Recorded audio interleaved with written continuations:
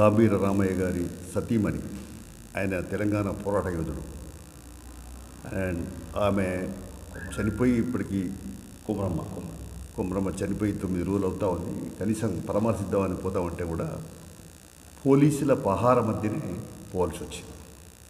జిల్లా కార్యదర్శి గారు మాట్లాడితే ఆయన కూడా ఐదంచెల భద్రత పెట్టి అడిగి రానియలేదు. తర్వాత అక్కడ నిర్వాసితులు కొంతమంది ది- ఆంక్షల మధ్య పోలీసు పహార మధ్య ప్రాజెక్ట్ నడపడం అనేది ఇది బాధాకరమైంది. అప్రజాస్వామ్యం. ప్రజాస్వామ్య ప్రభుత్వం ప్రజలు ఒప్పించి మెప్పించి పనులు చేయాలి తప్ప ప్రజలను భయభ్రాంతాలకు గురి చేసి లేదా వాళ్ళను లాఠీచార్జ్ చేసి భయభ్రాంతకు దెబ్బలు కొట్టి ఆ రకంగా చేసేదాన్ని. నేను తీవ్రంగా ఖండిస్తున్నాను. నేను ఒక ఉదాహరణ చెప్పదలుచుకున్నాను. అసలు వరద కాలువ ఎప్పుడు స్టార్ట్ అయింది వీళ్ళకి తెలుసా? అతను తొంభై నాలుగులో శంకుస్థాపన చేయబడింది. ఇందిరాగాంధీ పీరియడ్ ఆ తర్వాత అక్కడి నుంచి వెళ్ళి సిరాప్సర్ ప్రాజెక్ట్ నుంచి వెళ్ళి కొంత వర్క్ నడుస్తున్నా. నేను ఎమ్మెల్యే అయిన తర్వాత రెండు వేల నాలుగులో దాన్ని వెంబడి పడితే రెండు వేల ఏడులో Thotapalli Indurthi canal Gauri reservoir Gandipalli reservoir మంజూరు చేయించాం. రెండు వేల ఏడులో వైఎస్ రాజశేఖర ముఖ్యమంత్రి తీసుకొచ్చి ఇక్కడ శంకుస్థాపన చేశాం.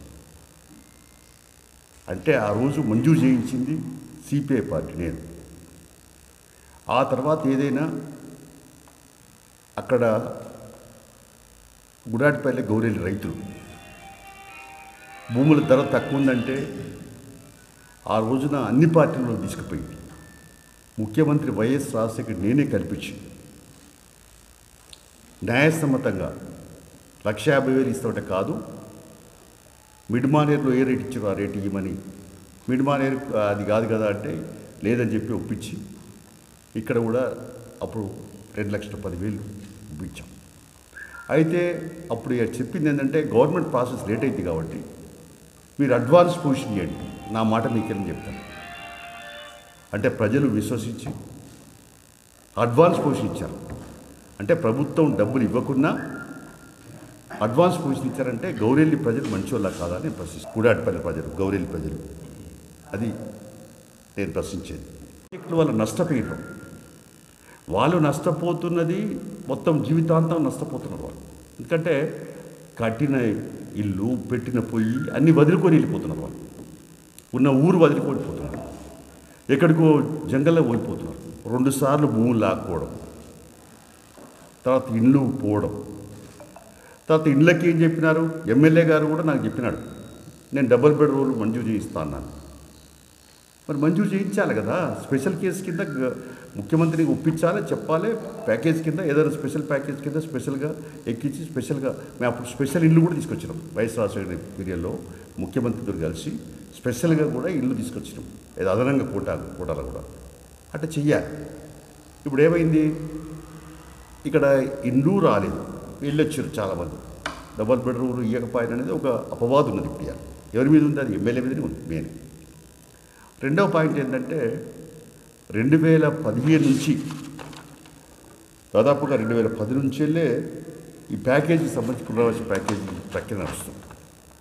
రెండు వేల పది తర్వాత పదిహేనులో ఒక నోటిఫికేషన్ వచ్చింది. తర్వాత మళ్ళీ ఇరవై ఒకటిలో ఒకటి వచ్చింది. ఇరవై రెండులో ఒకటి వచ్చింది. ఇవన్నీ చూస్తే ఇవాళ పునరావాస ప్యాకేజీలో పెళ్ళి కాని ఆడపిల్లకి వాళ్ళకి ప్యాకేజీ ఇవ్వాలి. ఎంత అది ఎనిమిది లక్షలు. ఎనిమిది లక్షలు. దానికి సంబంధించి ఎంతమంది మిగిలినాయంటే తొంభై నాలుగు మంది మిగిలిన వాళ్ళని వాళ్ళు అనుకోకుండా హరీష్ రావు గారి దగ్గరికి వెళ్తే హైదరాబాదు వీళ్ళంతా పది ఇరవై మంది అక్కడికి వచ్చారు. మొత్తం తీసుకుపోయి చెప్పినాం. ఆయన అన్నాడు ఇప్పుడు మీరు డిలే చేసినందువల్ల ఇంత కాలం అయిపోయింది మీరు అప్పుడే పేమెంట్ చేస్తే అయిపోయేది కదా. మీరు పేమెంట్ చేయలేదు కదా. గెజిట్ నోటిఫికేషన్ ఉంది వాళ్ళ పేరు. గెజిట్లో వాళ్ళ పేర్లు ఉన్న తర్వాత ఇవ్వకపోవడం అన్యాయం. ఇప్పటికైనా మానవత్వంతో వాళ్ళ పెళ్ళి అయిపోయింది కాబట్టి ఇయ్యం అంటే డబ్బులు ఇవ్వకపోవడం ఎవరిది బాధ్యత? ప్రభుత్వాన్ని కాదా? అందుకనే ప్రభుత్వ బాధ్యత విస్మరించి ఇప్పుడు వాళ్ళకి ఏదైతుందో మేము పెళ్ళి అయిపోయింది కాబట్టి ఇయ్యం అనే ఆ పద్ధతి కరెక్ట్ కాదు. సరే కొంతమంది కోర్టు కేసులు లేకుంటే ఇవన్నీ రకరకాల సమస్యలు ఉన్నాయి. ఇవన్నీ కూడా పెద్ద సమస్యలు కాదు. ఇప్పుడు మొత్తము మొండెం పోయింది తోక మిగిలింది. దీనికాడ ఏమున్నది?